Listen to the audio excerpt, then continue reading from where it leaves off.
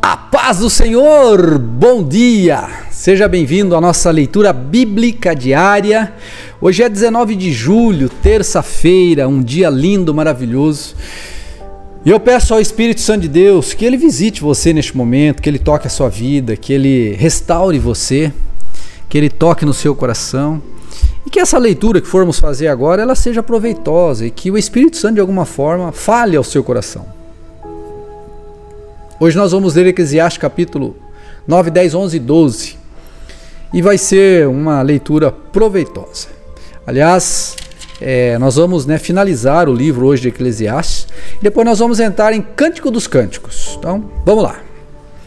Eclesiastes capítulo 9 diz assim: Dediquei-me também a investigar isto. Isto o quê? Embora os justos e os sábios e também suas ações estejam nas mãos de Deus, ninguém sabe o que os aguarda, se é amor ou ódio. No fim, todos têm o mesmo destino, seja a pessoa justa ou perversa, boa ou má, cerimonialmente pura ou impura, religiosa ou não. Ocorre o mesmo à pessoa de bem e ao pecador. Aquele que, fe, que faz promessas a Deus é tratado como o que teme fazê-lo. É uma grande tragédia que todos debaixo do sol tenham o mesmo destino.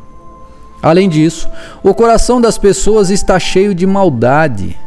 Elas seguem seu próprio caminho de loucura, pois não há nada adiante senão a morte. Só para os vivos há esperança, como dizem. Melhor ser um cão vivo que um leão morto. Os vivos, pelo menos, sabem que vão morrer, mas os mortos nada sabem. Já não têm recompensas para receber e caem no esquecimento. Amar, odiar, invejar, tudo que já fizeram ao longo da vida. Passou há muito tempo. Já não participam de coisa alguma que acontece debaixo do sol. Portanto, coma sua comida com prazer e beba seu vinho com alegria, pois Deus se agrada disso. Vista roupas elegantes e use perfume Viva alegremente com a mulher que você ama todos os dias desta vida, sem sentido, que Deus lhe deu debaixo do sol. Pois essa é a recompensa por todos os seus esforços neste mundo. Tudo que fizer, faça bem feito, pois quando descer à sepultura, não haverá trabalho nem planos nem conhecimento, nem sabedoria. Observei outra coisa debaixo do sol. Aquele que corre mais rápido nem sempre ganha corrida, e o guerreiro mais forte nem sempre vence a batalha. Às vezes, os sábios passam fome, os sensatos não enriquecem e os instruídos não alcançam sucesso. Tudo depende de se estar no lugar certo, na hora certa. Ninguém é capaz de prever quando virão os tempos difíceis. Como peixe na rede ou pássaro na armadilha, as pessoas caem em desgraça, mesmo de modo repentino. Outro exemplo de sabedoria me impressionou enquanto eu observava como as pessoas funcionam debaixo do sol. Havia uma cidade pequena com poucos habitantes e um grande rei veio com seu exército e a cercou. Um homem sábio, mas muito pobre, usou sua sabedoria para salvar a cidade. Depois, porém, ninguém se lembrou de lhe agradecer. Por isso pensei: embora a sabedoria seja melhor que a força, o sábio é desprezado quando é pobre. Suas palavras logo são esquecidas. É melhor ouvir as palavras calmas de uma pessoa sábia que os gritos de um rei tolo. É melhor ter sabedoria que armas de guerra, mas um só pecador destrói muitas coisas boas. Capítulo 10 Como moscas mortas produzem mau cheiro até num frasco de perfume, assim um pouco de insensatez estraga muita sabedoria e honra. O sábio escolhe o caminho certo, mas o tolo toma o rumo errado. Os tolos podem ser identificados apenas por seu modo de andar. Se uma autoridade se irar contra você, não abandone seu posto. O espírito calmo pode superar até mesmo grandes erros. Observei outro mal debaixo do sol. Governantes cometem um erro grave quando dão grande autoridade aos tolos e colocam pessoas valorosas em cargos inferiores. Cheguei a ver servos andando a cavalo como príncipes e príncipes andando a pé como servos. Quem cava um poço corre o risco de cair nele quem derruba um muro corre o risco de ser mordido por uma cobra. Quem trabalha numa pedreira corre o risco de ser ferido pelas pedras. Quem corta lenha corre o perigo a cada golpe do machado. Trabalhar com o machado sem corte exige muito mais esforço. Portanto, afie a lâmina. Esse é o valor da sabedoria ela o ajuda a ser bem-sucedido. Se a cobra morde antes de ser encantada, de que adianta ser encantador de serpentes? As palavras do sábio trazem aprovação, mas o tolo é destruído por aquilo que ele mesmo diz.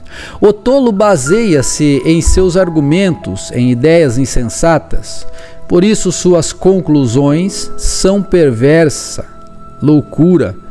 Mesmo assim, fala sem parar. Ninguém sabe de fato o que acontecerá, ninguém é capaz de prever o futuro. O tolo fica tão exausto com seu trabalho que nem consegue encontrar o caminho de casa. Como é triste a terra governada por uma pessoa imatura, cujas autoridades fazem banquetes logo de manhã. Como é feliz a terra em que o rei é, como é feliz a terra que tem como rei um líder nobre, cujas autoridades fazem banquetes no momento apropriado, para recuperarem as forças e não para se embebedarem. Por causa da preguiça, o telhado enverga, por causa do ócio, surgem goteiras na casa. A festa proporciona riso, o vinho proporciona alegria e o dinheiro proporciona tudo isso. Nunca faça pouco do rei, nem mesmo em pensamento. Não zombe dos poderosos, nem mesmo em seu quarto. Pois um passarinho poderia contar a eles tudo que você disse. Envie os grãos de sua colheita mar afora, e com o tempo isso lhe trará retorno. Invista seus recursos, capítulo 11, versículo 2. Invista seus recursos em vários lugares, pois desconhece os riscos. Adiante. Quando as nuvens estão carregadas, vêm as chuvas. Quando a árvore cai para o norte ou para o sul, ali permanece. O agricultor que espera condições de tempo perfeita nunca semeia. Ele fica observando cada nuvem. Não colhe também se fica fazendo isso. Assim como é impossível entender o caminho do vento ou o mistério do crescimento do bebê no ventre da mãe, também é impossível entender as obras de Deus, que faz todas as coisas. Semeie pela manhã e continue a trabalhar à noite. Você não sabe se o lucro virá de uma atividade ou de outra, ou talvez de ambas. A luz é doce. Como é bom ver o nascer de um novo dia. Se você chegar à velhice, desfrute cada dia de sua vida. Lembre-se, porém, que não haverá muitos dias sombrios, ou lembre-se de que haverá muitos dias sombrios. Nada do que ainda está por vir faz sentido. Jovem, alegre-se em sua juventude, aproveite cada momento. Faça tudo o que desejar, não perca nada, Lembre-se, porém, que Deus lhe pedirá contas de tudo que fizer. Não se preocupe com uma coisa e mantenha o corpo saudável. Lembre-se, porém, que a juventude e a vida inteira diante de você não fazem sentido. Capítulo 12. Não se esqueça de seu Criador nos dias de sua juventude. Honre-o enquanto você é jovem, antes que venham os tempos difíceis e cheguem os anos em que você dirá: Não tenho mais prazer em viver. Lembre-se dele antes que o sol, a lua e as estrelas percam o brilho. Aos seus olhos, as nuvens voltem a cobrir o céu depois da chuva. Lembre-se dele antes que suas pernas comecem a tremer e antes que seus ombros se encurvem. Lembrem-se, lembre-se dele antes que os poucos dentes que lhe restam já não possam mastigar e antes que seus olhos deixem de ver com clareza. Lembre-se dele antes de seus ouvidos fiquem fracos e você já não ouça o som das pessoas trabalhando nas ruas. Você levanta com o primeiro canto dos pássaros, mas um dia não os ouvirá mais. Lembre-se de antes Lembre-se dele antes que você tenha medo de cair e se preocupe com os perigos nas ruas. Antes que seus cabelos fiquem brancos como a amendoeira em flor e você se arraste como um gafanhoto prestes a morrer e antes que você perca o desejo. Lembre-se dele antes que falte pouco para descer ao túmulo. Seu lar eterno, quando os pranteadores chorarão em seu funeral. Sim, lembre-se de seu Criador agora, enquanto você é jovem, antes que o fio da prata da vida se rompa e antes que a taça de ouro se quebre. Não espere até que seu cântaro se despedace junto à fonte e à roldana. Se parta junto ao poço, pois então o pó voltará à terra e o espírito voltará a Deus que o deu. Nada faz sentido, diz o Mestre nada faz o menor sentido. O mestre era considerado sábio e ensinou ao povo tudo o que sabia. Com muita atenção enviou, com muita atenção ouviu, examinou e organizou muitos provérbios. O mestre se esforçou para usar as palavras a fim de expressar verdades com clareza. As palavras do sábio são como hastes de ferro, e a coleção de seus ditados como pregos bem fixados que o pastor usa para conduzir as ovelhas. Meu filho, deixe-me dar-lhe mais um conselho. Tenha cuidado, pois escrever livros não tem fim e estudar demais é cansativo. Aqui termina meu relato. Esta é minha conclusão. Qual? Tema a Deus obedeça a seus mandamentos, pois esse é o dever de todos.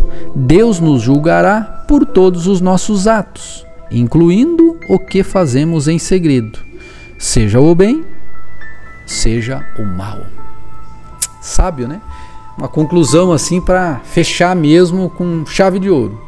De tudo isso que ele falou, que ele refletiu, que ele filosofou, a conclusão é: tema a Deus e obedeça a seus mandamentos. Precioso, né? Amar a Deus sobre todas as coisas, ao nosso próximo como a mim, a, a mim mesmo, a nós mesmos. Deus te abençoe. Se você não é inscrito, se inscreva aqui no canal, faça parte, venha é, estar presente aqui conosco todos os dias, tá bom? Deus te abençoe, fique na paz e até amanhã em nome de Jesus.